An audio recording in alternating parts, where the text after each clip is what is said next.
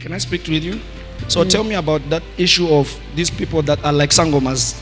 Because when I look at you, I see an old village house, and it's like you are free. Can I speak with you? Yes. Where are you coming from? I'm from North Riding. From? North Riding. North Not Gate riding. Who did you come with? She's the one who invited you. Yes. You told her about the issue of your challenge. I know everything. You know everything. Yeah. You know what is happening. Yeah. Yes. Mm. Mm. So you inv- you advised her that you must come here. There's solution. Yes. Yes. So mm. tell me about that issue of these people that are like sangomas, especially that you see in the dream. Because when I look at you, I see a old village house, and it's like something is being done in that house. It's from home. I'm from Kuruman. Kurum- It's from your home. That's where they are practicing those things. Yeah. Yeah. So your name is always being called. That is the reason of these problems you are facing. So where's the Ah. husband? My husband is at home. He's at home. Mm-hmm. Where is he working?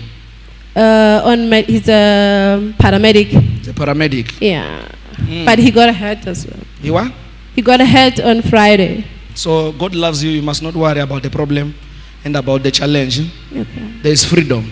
Okay. And even for your husband, even those issues, those threats at his workplace, Okay. you must not worry about everything. Okay.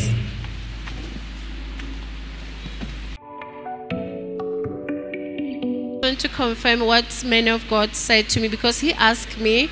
Uh, I mean, he told me saying that he see the house with uh, like a, it's a mud house, yes, at home, and then rona re re ke bojwang e ruletswe ka bojwang i don't know what to say in english and then um, he was saying that yeah he's seeing that is the house of the sangomas So tell me about that issue of these people that are like sangomas, especially that you see in the dream. Because when I look at you, I see a old village house, and it's like something is being done in that house. every time they're calling my name there Yeah, so your name is always being called. That is the reason of these problems you are facing. And I can relate because everything in my life is stuck now. My business is not doing well. I'm so behind with uh, things that I have to pay. Like I'm in debt. And then um, even with like, I'll go to the companies to explain what I'm doing. I'll feel that I got this deal. But mo moyeng not knowing what happened.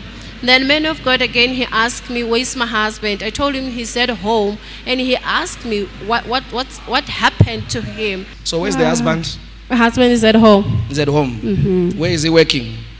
Uh, on med- he's a um, paramedic. There's freedom. Okay. And even for your husband, even those issues, those threats at his workplace, Okay. you must not worry about everything. Okay. And then I was so shocked because yes, on Friday, my husband got hurt at, at work to the point he even went to the hospital. But man of God, he just said that don't worry.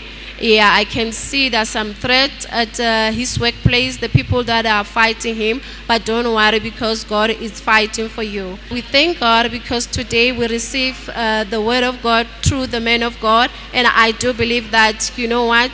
everything is being revealed. And I thank God for everything. Thank you so much.